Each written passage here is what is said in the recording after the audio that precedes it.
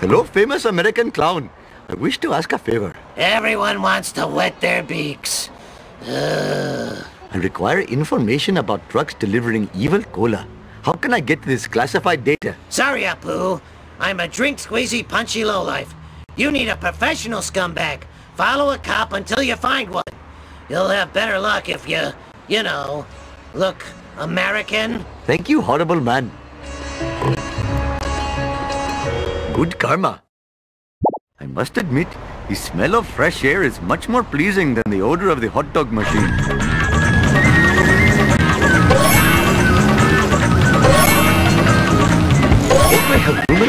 For